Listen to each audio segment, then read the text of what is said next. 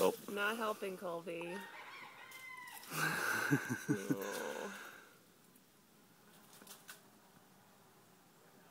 It's like that game I used to play. Whack-a-mole.